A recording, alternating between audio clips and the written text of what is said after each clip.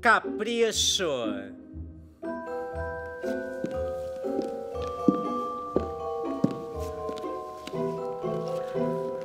Paixão. Sujeito louco. Enamorado.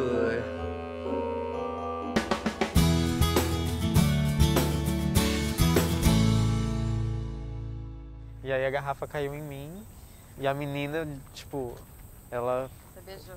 Não, muito pelo contrário, ela olhou pra garrafa, olhou pra mim, disse que a garrafa tava com defeito e não quis me beijar de jeito nenhum. Ah, não acredito. É, aí foi o trauma do ensino médio. Nossa, que idiota, né? É. Ela era legal, mas nesse dia ela bancou a idiota. Mas e os seus traumas de ensino médio? Ensino médio? É, Eu engravidei no segundo ano. sério? Mas eu perdi. Mas como que foi isso? Ah, foi bem assustador, sabe? Tipo, quando a escola ficou sabendo, tomou uma proporção que eu não imaginava. Mas e o pai? Quem era o pai? Foi um cara que eu perdi a virgindade, mas óbvio que foi o primeiro a negar, né? Nossa, e graças a Deus eu tinha um Rômulo, porque a gente inventou um namoro fake e ele ia assumir. Sério? Não, e tipo, ele ia assumir mesmo, sabe? Quando o bebê nascesse. Mas tipo, ninguém desconfiou? Porque a cidade inteira sabe que ele é. Ah, não, não, não, isso não, porque ele não namorava ninguém na época e todo mundo ficou sabendo depois do Patrick. Entendi. Que corajoso. Eu acho que você ia ser uma ótima mãe.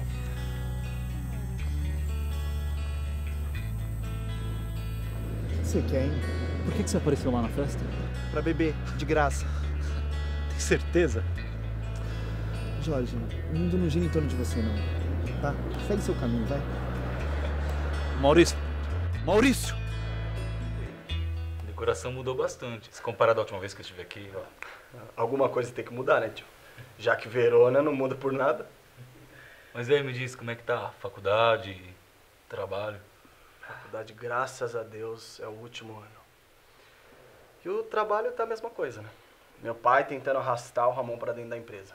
Teu pai tentando arrastar o Ramon. E ele não quer, né? Foi exatamente por isso que eu te liguei. Vai, solta o B.O.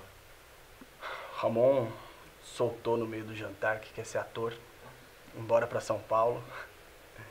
Fazer as coisas por ele, sabe? Ele falou isso com o meu irmão Carlos na mesa. Eu imagino. Uma cena digna de novela. né? Exatamente. E aí meu medo, sabe qual é? Ele surtar. Porque é muita pressão em cima dele. É meu pai, minha mãe, ele querendo agradar todo mundo. E uma hora ele vai explodir, velho. Tá certo. Vamos fazer assim, Samuel. Eu falo com a Paula, converso com meu irmão e eu vejo que, que- como é que eu vou conseguir intermediar nessa situação. E falando nele, cadê o Ramon? Boa pergunta. Foi, pessoal.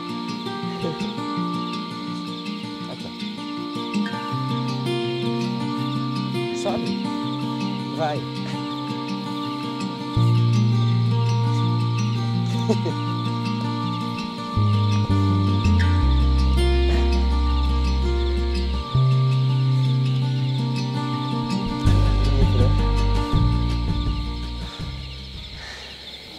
fazer umas perguntas hoje? Já que não é mais nosso primeiro encontro. Claro. Eu vi uns vídeos seus. Sério? Achei bem legal. Tem uns fãs fiéis, né? É, o legal do canal é que a gente não atrai só gente com Parkinson precoce, a gente atrai também idosos, familiares, gente que quer informação. É uma sensação muito boa. Pra. Sabe, pra descobrir, assim, um diagnóstico. Como é que foi? Foi bem horrível. Tipo, quando os sintomas apareceram, eu não conseguia botar uma camisa. E aí a gente teve que passar por uns 3 mil médicos até eu saber o que eu tinha. É, foi tipo. Oi, você tem Parkinson. Bem isso. A minha mãe, quando descobriu que meu irmão tinha piolho, deu mais gravidade à situação do que o médico quando me falou.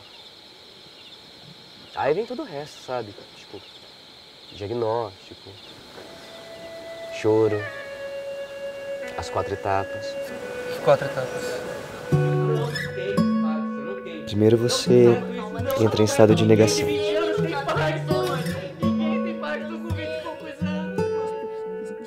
Depois você começa a negociar com Deus ou com qualquer entidade que te ajude de uma forma milagrosa.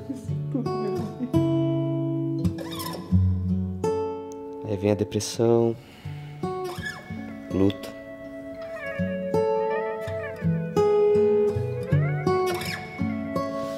Depois de tudo isso vem a fase da aceitação.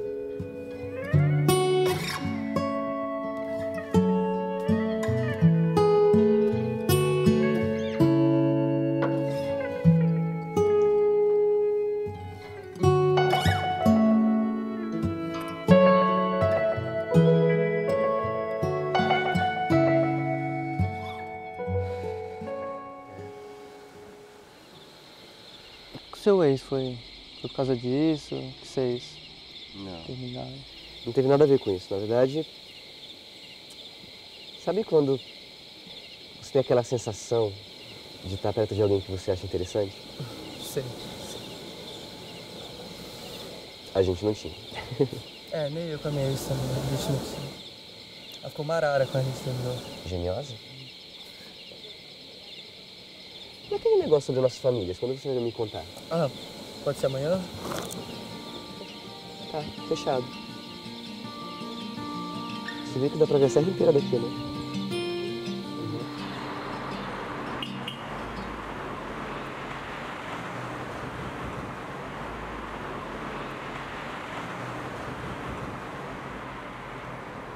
Sabia que perseguir mulheres é ilegal?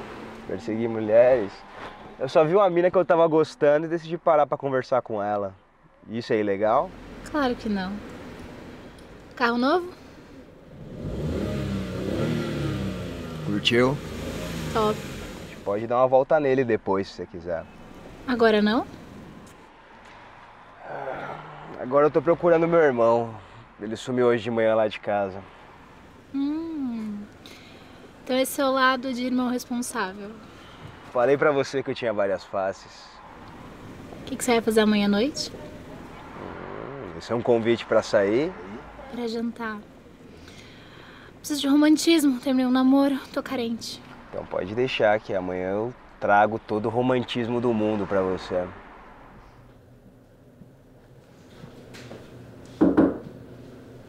tá fazendo aqui? Uma surpresa de vez em quando é bom, né? Uhum. Vai, vai, cara.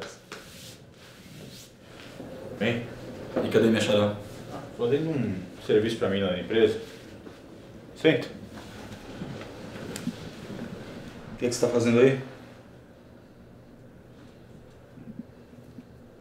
São as fotos do papai que eu te mandei.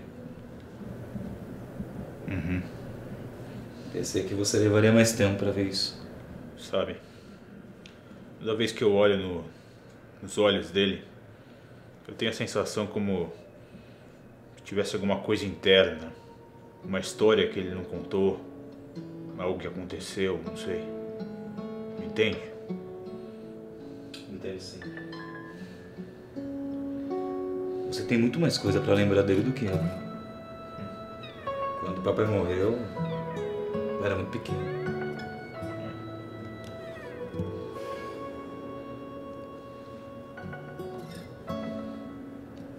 Sabe, Carlos? Às vezes eu também me pego pensando no papai e eu tenho essa mesma lembrança, sabe? Essa sensação de distância.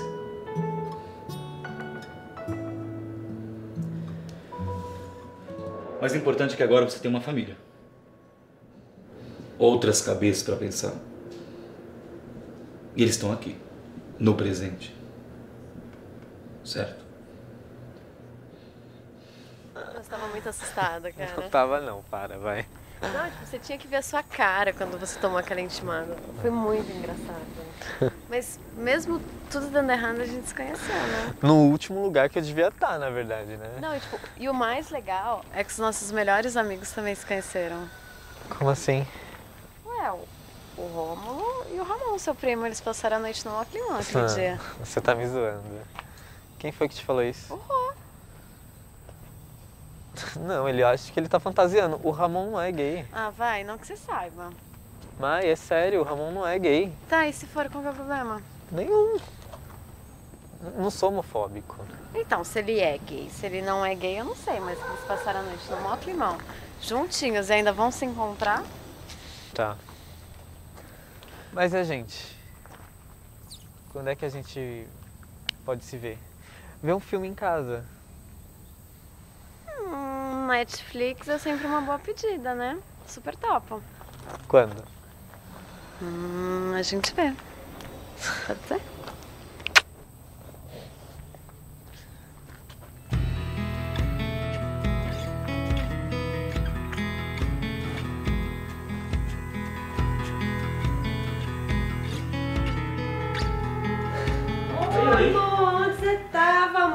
Tava, ó, todo mundo atrás de você. Exercício.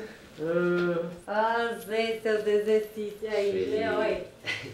Ó, tava todo mundo atrás de você, até seu irmão saiu, ó, carro atrás de você. Ah, tá ali sendo gentil. Vou sumir de novo pra continuar sendo assim. Olha. Ô, quer parar de confusão? Sai pra lá que tô arrumando. Hum. Olha, se metendo esse problema aí. Que problema? Olha só, eu saí pra correr. Eu encontrei um amigo no meio da estradinha. E aí, perdi a hora. Uhum, Mas não aconteceu nada. Ainda, né, amor? Que tu acha que eu sou é besta, né? Eu não conheço bem. Tá bom. Tome seu remédio que já tá na hora e vai tomar um banho que tu tá. Ah, tomar um banho? É? Tá fedido, é? Ai, É, você tá fedido. vai, nojento, vai, vai.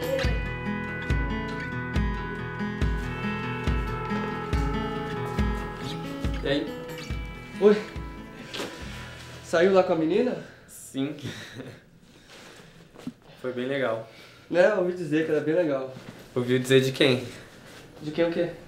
De quem que você ouviu dizer? Ah, ah por aí, Benjamin. Tá. O almoço tá pronto, tá? Tá, já tudo certo.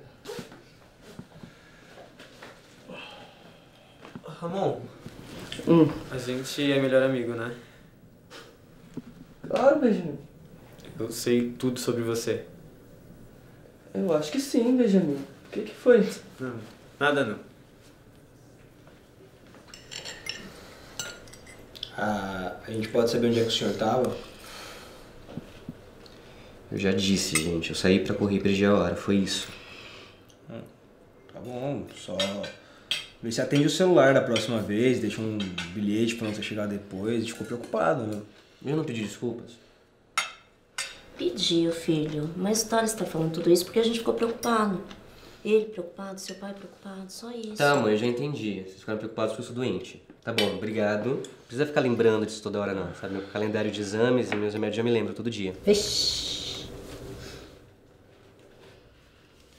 Que foi, gente? Tô aqui, ó. Capital hoje, ó. Tá que tá. Mas, gente, São Paulo não para. É uma cidade que. Eu não ia conseguir viver lá, mas nunca. Também não, prefiro aqui. Mais calmaria, acordar com os pássaros. Bem melhor. Mas deve ter várias gatinhas lá, né, tio? Tem, tem bastante sim. E você aí com essa pinta de galã deve pegar várias, hein? Fala aí. Samuel, Tudo bem, Paula. O que foi? Tudo bem. eu acho tudo que bem. a gente Eu não tem gay. que falar essas. Tenho noivo. Tranquilo. Gay. Interessante. Lá em São Paulo não deve ter esses problemas, né? Não deve dar nada. Aqui em Verona eu não conheço um. Eu também não. Nem. Eu juro, juro que eu não conheço ninguém. Tá. Nossa. Eu não tô entendendo esse seu comportamento, filho. Mãe, eu quero um espaço. Só quero espaço pra respirar, só isso. Só isso. Tá bom. Será que dá pra gente almoçar sem estresse agora? O que, que a, a Mayara tá falando com aquele. O, o babaquinha lá dos Monteiro? Sério isso, Thales. Ela tá namorando o menino, tá? E você, nem eu, nem essa família, nem essa rixa ridícula que todo mundo fica falando aqui não tem nada a ver com isso. Que foi, gente? Na capital, o negócio lá do Fica Querida, da Vai Querida, tal da querida, pediram pra ela ir, o povo tá pedindo pra ela ficar. Tô aqui acompanhando a vida da querida, gente. Oxi. Mas sabe o que eu fico imaginando? Como seria a cara do papai se, se soubesse disso, se ele estivesse vivo? Queria, queria ver a reação dele se ele soubesse estar noivo de um homem. Por quê? Ah, porque o meu pai ele era extremamente homofóbico. Pelo menos é o que o Carlos diz e todo mundo da cidade. Ele não deixava nenhum menininho mais afetadinho assim, sabe? Entrar em casa. Ainda bem que as gerações evoluem, né, pai? Ou não, ou as coisas ficam se repetindo de geração em geração. Como assim, Ramon? Hum, não, nada. Foi só uma epifania que eu tive aqui. Que, aliás, você tem tido algumas ultimamente, né, Hum, Ramon? a senhora não tem ideia, mãe. Bom, mas. Tava falando com o Samuel, ele me disse que você queria fazer artes cênicas. Não vamos falar desse assunto. É sim, tio. Quero fazer sim. Só que tem umas pessoas frustradas que ficam querendo podar os nossos sonhos, sabe? Vocês saem daqui. Todo mundo fora. Sai daqui. Fora. Fora. Você também. Eu fico. Que complozinho é esse aqui, hein?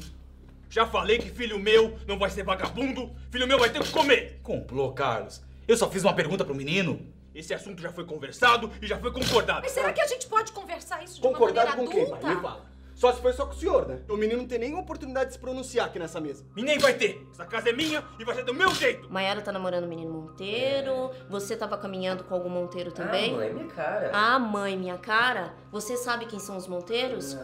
Essa família que é super egoísta, só pensa em dinheiro, só nos negócios. Mataram seu tio avô.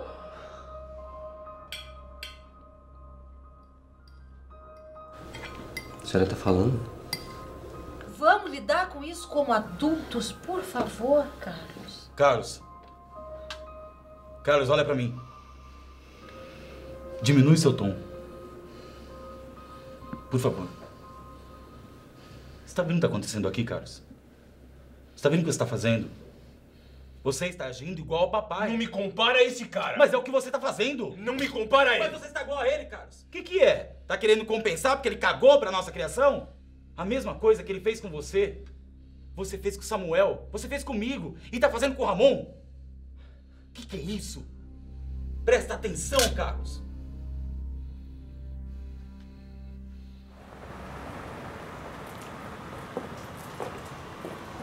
Olha só, o rapaz que não confia nos sóbrios. E aí, como é que você tá? Bem, Tudo bem? tô melhor. Principalmente depois daquela nossa conversa. Que bom. Que bom que eu pude ser útil pra você. Só nunca imaginei te encontrar por aqui, assim. Ah, mas essa cidade é um ovo, né? Todo mundo se encontra por aqui, todo mundo se esbarra. A menos que você estivesse fugindo de mim. Não, não. Por causa daquilo que rolou. Não, imagina. Pelo contrário. Você. Você não quer dar uma volta comigo? Pode ser. Só que antes, só pra deixar as coisas claras, assim, eu curti tudo que aconteceu aquela noite. Foi muito bom. Mas eu não sei se eu tô preparado pra outra Hum, coisa. A cabeça no ex ainda. Tá. Não, tudo bem, tá tranquilo. Todo mundo fica um pouco idiota uma vez por causa do ex, né? Pelo menos uma vez, ou duas, talvez três. Hum. Pois é. Bora? Bora.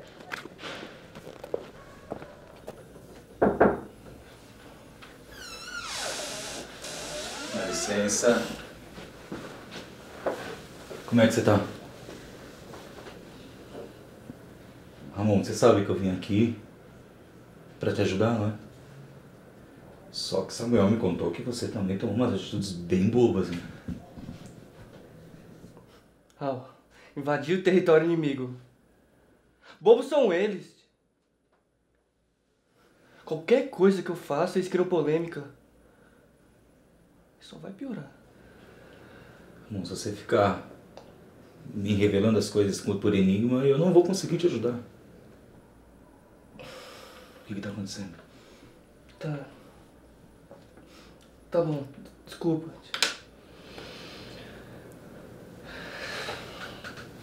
Que bom que o senhor veio. Precisa muito do senhor aqui. Eu sei. E é por isso que eu vim. Mas olha, quem muito corre, mais cai. Juízo. Tá. Ponto!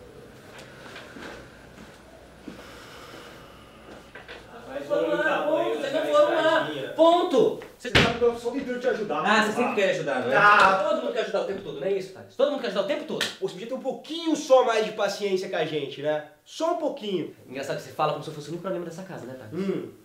É. Você vive se metendo em confusão aí, eu sou o único Não, é problema besteira. dessa casa, né? É, é. É besteira. É besteira. Ah, é besteira. É besteira, é besteira Você porque disse- todo mundo briga em todo lugar, cara. Todo Você- mundo briga em bar, todo mundo briga em, em estádio, em todo mundo meu, você balada. tá sendo um babaca. Comigo, com todo mundo à sua volta. Com E você? aí? Você é louco?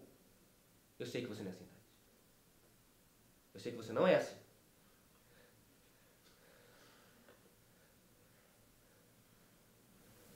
Para de me estressar.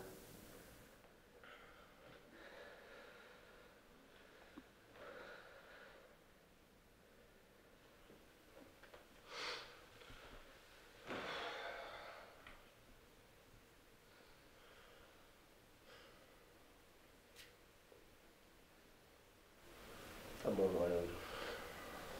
Desculpa. Desculpa, mas vamos melhorar. Vamos melhorar um pouquinho, né? Vamos, vamos melhorar. Eu vou melhorar, você vai melhorar. Também pode ter um pouco mais de paciência com a gente. Tá bom.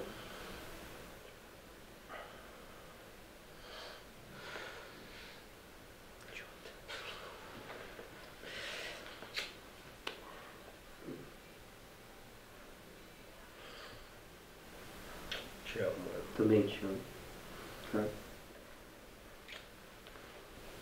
Agora sai, deixa sozinho. Quero ficar só.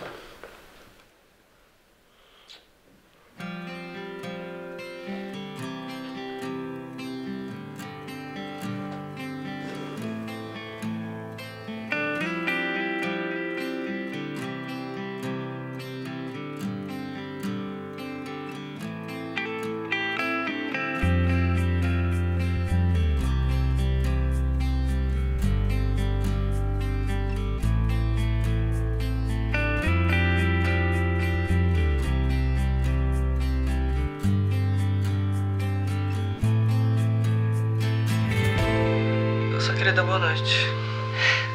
Boa noite.